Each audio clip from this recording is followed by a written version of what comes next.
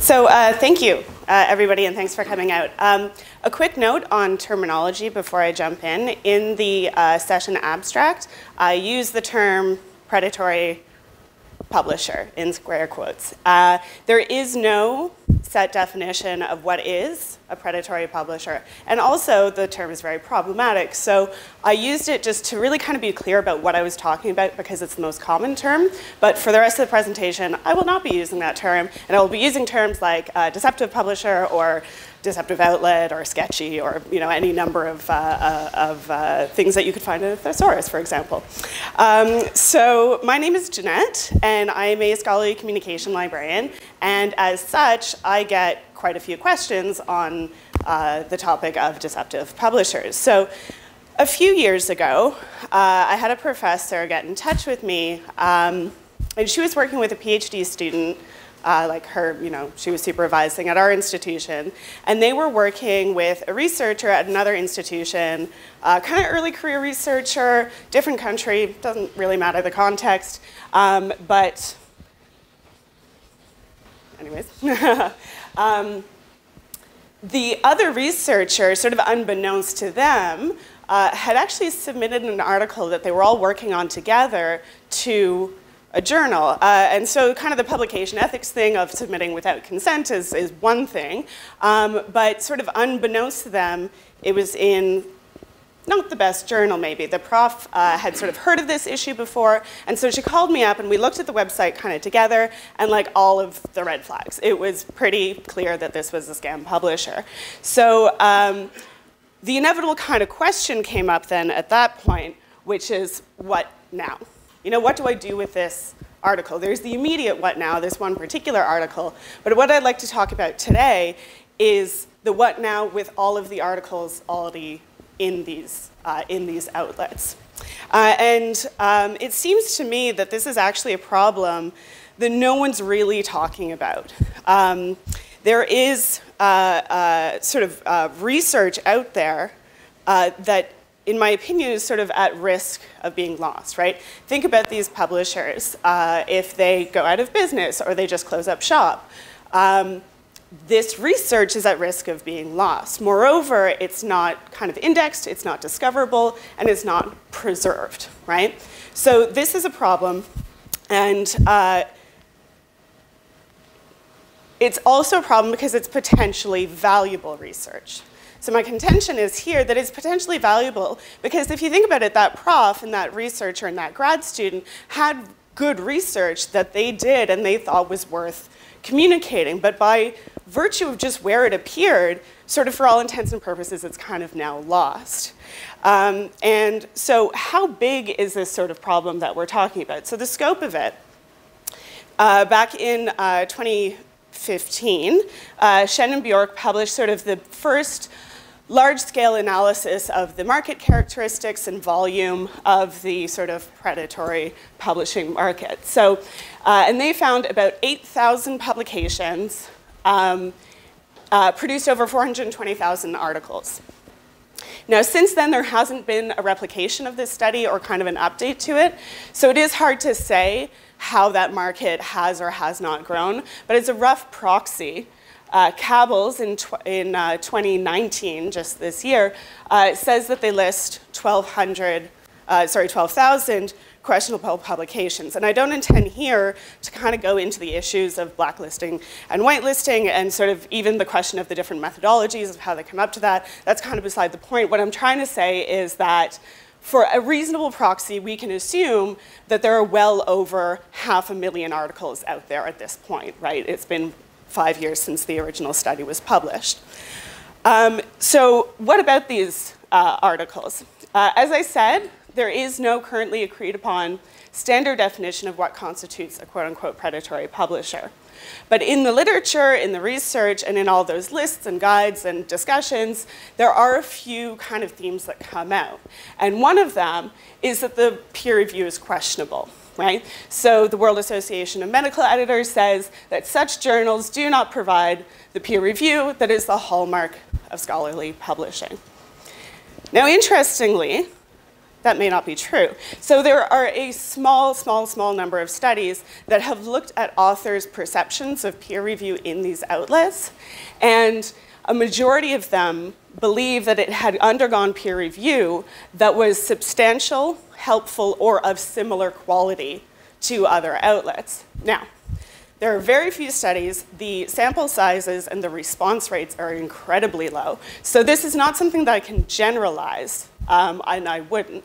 But um, uh, it's just sort of like an interesting thing to sort of note that these sort of uh, low sample sizes to me suggest that there's a bit of a stigma, right? There isn't a lot of research out there. People don't want to talk about this.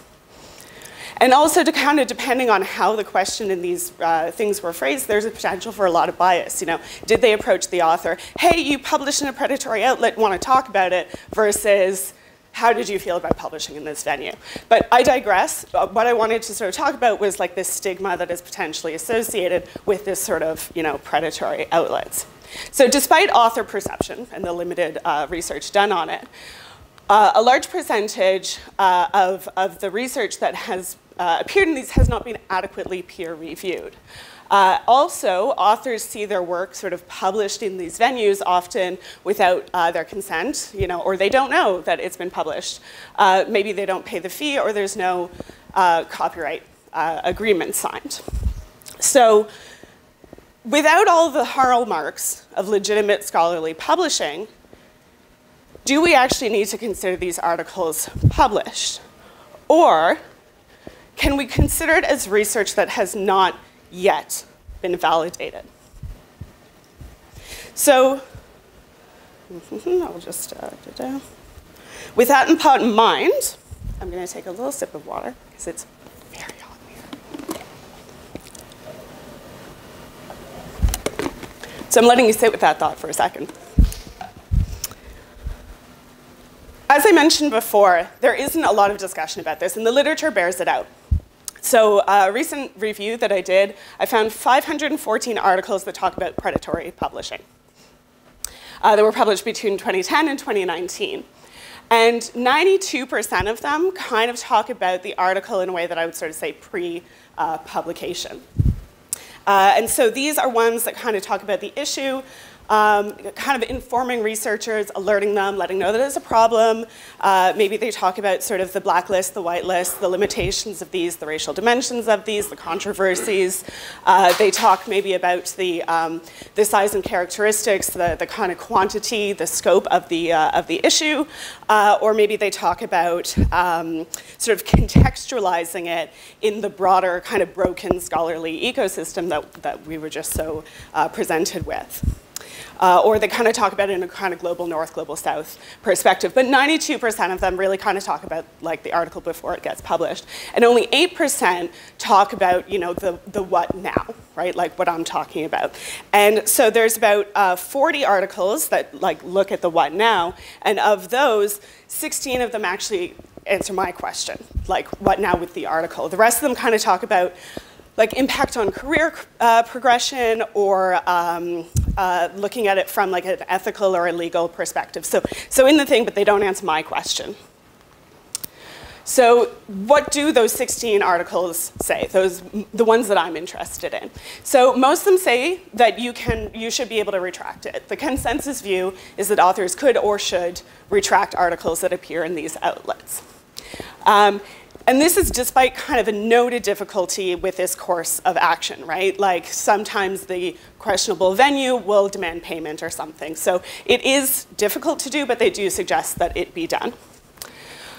Some suggest that you could submit it to a new journal, uh, including the World Association of Medical Editors, uh, that it could be submitted to a new journal, but it's not universally accepted. Some people say, no, like that's it.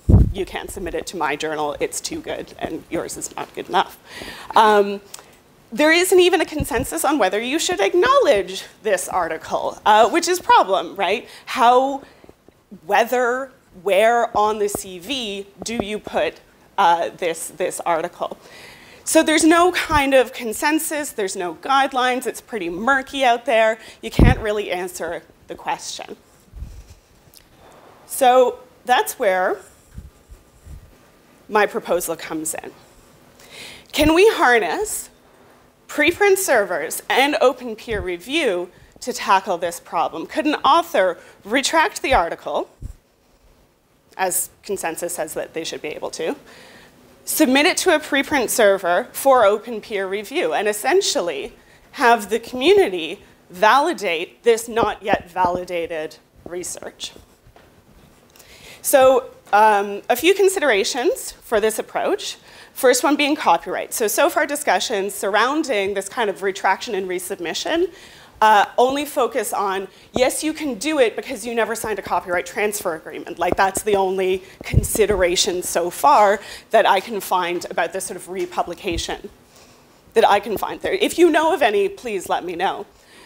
But this misses a key feature of open access, which is the copyright remains with the author. So as long as it's under a CC BY license, there's nothing under a copyright framework that would prevent this.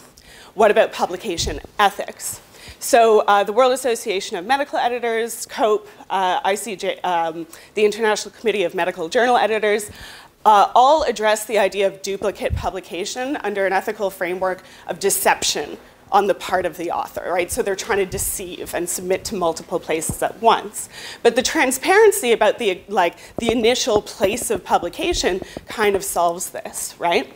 Um, and WAME even suggests that authors whose legitimate research was published should have a mechanism, right? So, so everybody agrees that this kind of like ought to happen, but nobody talks about it in the open peer review and preprint way, right? So theoretically, it seems sound. Where theory meets practice is where things get a little bit murkier. So just briefly, what am I talking about when I talk about open peer review? Now, despite being sort of like a pillar of open science, um, there isn't really, kind of like predatory publishing, uh, there is an agreed upon definition of what, what is open peer review, so I'm just gonna be a little bit more clear. Uh, so it's an umbrella term for a number of kind of overlapping ways that peer review can be kind of adapted in line with the aims of open science. Now, this is proposed by OpenAIRE and uh, Ross-Hellauer, um, I forget his first name, uh, but they propose sort of seven traits that can be kind of used in any sort of combination.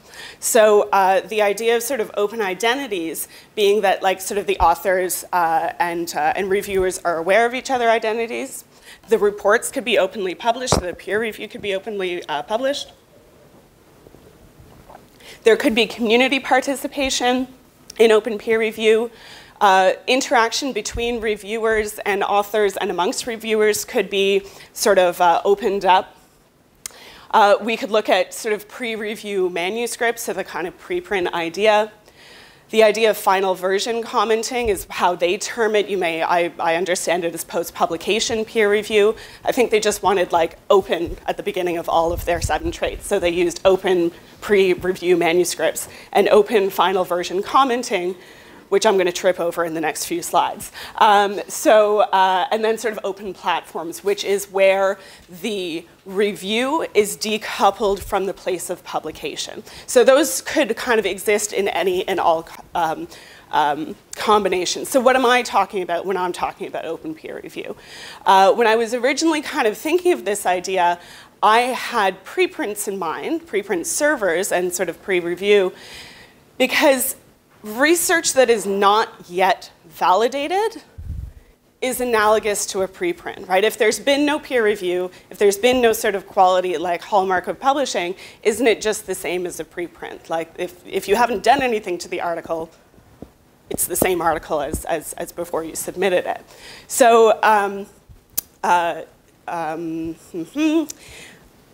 however, most preprint servers do specify that research must not already be published. So I hit a bit of a wall here um, right off the bat. But this is a policy, not a technical or theoretical problem. And policies are made by people, and people can change their minds. So that's how I'm working around this. So I would sort of urge uh, uh, that anybody who's sort of uh, working in this space to kind of reframe their thinking around what is sort of previously published. And those who sort of manage and set policies for these could kind of establish a guideline or some sort of mechanism to allow for what I'm suggesting today. And most of these do include actually a kind of a submission review component to the preprint server. So there is an intervention already. So within that intervention, the author could sort of, I imagine, uh, provide some, some documentation or some evidence supporting their contention that their submission has not been peer reviewed, right? So if their contention that it, underwent no peer review, the simple act of submitting the preprint and the final published version is sufficient proof of that. If their contention is that the, peer, the peer review is insufficient, um, you could just submit that kind of peer review report, you know, that says, article well written, that's not substantial peer review, you could provide that sort of as evidence. So you could theoretically, and I urge people who are uh, working in the preprint space or maybe building them right now, um, could perhaps kind of consider this as part of the workflow. Uh, the other sort of uh, element that I kind of had sort of in mind was that sort of open final version commenting is what they call it, call it post-publication peer review, and that sort of decoupled review. And there are two platforms out there, both PubPeer and ScienceOpen, that work on an essentially a DOI lookup mechanism. So you enter your DOI of the article that's been quote unquote published, uh, and then you could then actively solicit reviews from people in your field, right? So the author could sort of say, you know, please, person in my field who I respect the opinion of, could you please review my manuscript and do that validation? So this solves the validation problem, but it doesn't actually solve the preservation problem and that, that sort of losing lost science uh, problem. So this is sort of a, a question of like, it could work, but it's, it solves only part of, of the problem. So are preprint servers and open peer review a solution? No. But, like I said, policies and guidelines are set by people. And I would urge everybody to start rethinking how we think about the, art, about the research, about the articles that appear in these questionable venues. And to no longer consider it bad research that's in bad journals, but as research that has not yet been validated and is at risk of being lost. And disciplinary communities need to start thinking about this because it is their responsibility to ensure that the work of their, of their, uh, their, their researchers is, uh, is, is incorporated into the scholarly record. So I would urge anybody with any sort of um, uh, input or guidance or power into these things to sort of help me answer the question, what now?